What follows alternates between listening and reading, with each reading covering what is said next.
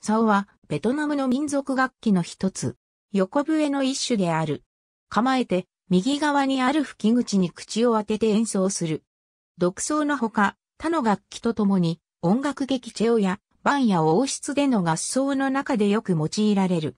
竿の素材は一本の竹材で、全長40から50センチメートル、直径1.5から2センチメートルのものが用いられる。5から10個の指穴と調律のための活動機構を持つ。吹き口からおよそ12センチメートルのところに最初の指穴があり、そこからおよそ1センチメートルの間隔で他の穴が続く。竿の端には塞がれることのない穴があり、これには聴者に音程を聞き取りやすく、聞かせる効果がある。一見単純そうな穴開けの作業は、実際には複雑で多彩な奏法を可能にするための多くの考慮を要する。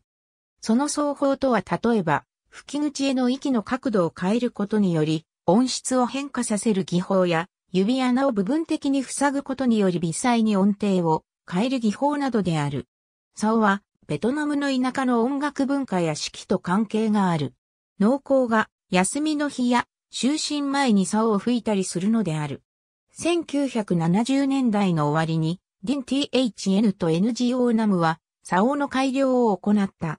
それにより指穴は6から10個に増え、音域が拡大された。改良の前と後の竿の違いは、例えば、ディン THN のティエングゴイムアシュエンとマウメウの演奏するティンサーニアシーを聴き比べるとよくわかる。ありがとうございます。